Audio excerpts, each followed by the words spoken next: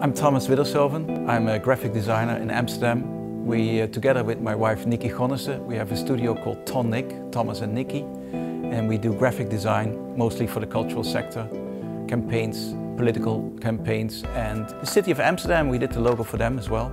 In Amsterdam there's a huge creative sector, but the, the strange thing is that almost never do they own the, the buildings that they work in. And so we discovered that uh, basically uh, all these buildings are owned by, uh, by big corporations. So they're making money out of the cultural sector and they're actually not making the best, more, most beautiful buildings that can be made.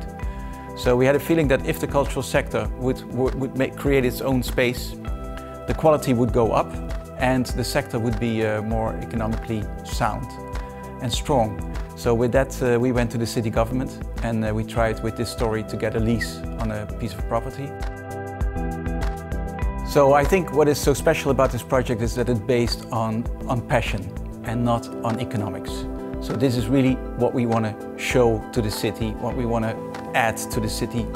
Uh, and it's our vision on how we should live and work. So if you look at the challenges of this project, it was immense, of course, on many levels. But one of the biggest challenges was that this is the only urban street in Amsterdam city center. So the whole city center of Amsterdam is based on 17th century, 18th century and 19th century layouts. But there's only one street that is conceived in the 20th century, that is really urban, that is wide, it's an avenue, and it has modern buildings next to it.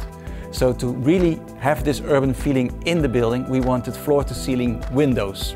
Always very difficult to balance a facade because in between the windows there is a very small strip of, uh, of the floor and then you get the whole uh, window again. But then also we have a very small plot. So we were really fighting for space.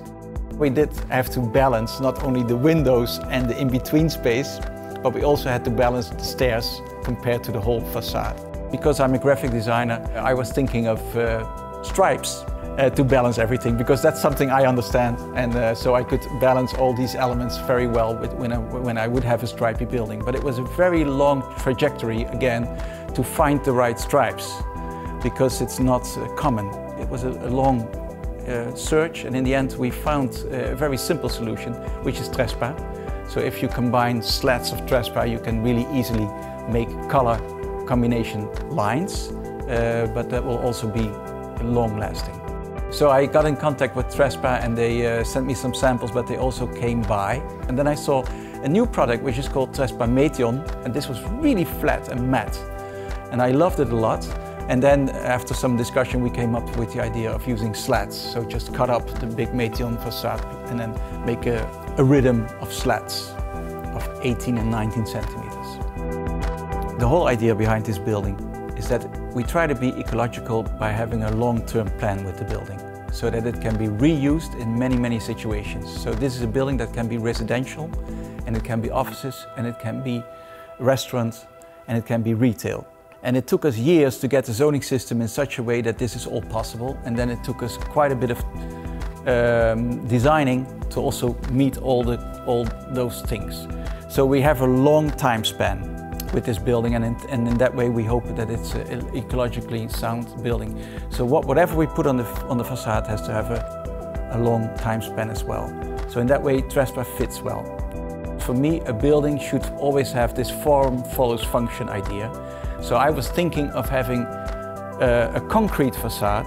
Then I discovered that all the concrete that I see is actually a very thin facade because it's a, it's a layered system because we have this big installation. So actually, and also we have the same with bricks, actually we're bringing in way too much material uh, if you build in the situation of Holland where you have uh, where you have a wall that keeps it support, then you have a huge insulation and then you actually need a very tiny skin to cover it. That's all. And everything that you add extra of concrete or, or bricks is actually uh, not necessary. So why do it? So that's when I got into the idea that it should be uh, as thin a skin as possible. Arjen was able to detail all these things so well, uh, of course together with Michon who applied it, that in the end it's incredible how, how fine, refined and detailed it is. So in Amsterdam we have a, a quite subdued architecture style. So there's a lot of brick, a lot of wood, a lot of greys. Uh, and then we have this very graphic building that uh, we had in mind. So I was a little bit worried about how people would react because it's a love or hate building. But uh, the reactions are really, really positive. It's also because it's the Wibautstraat, so it's this urban environment, and uh, I think it could use a bit of fun or a bit of presence or a bit of uh, expression.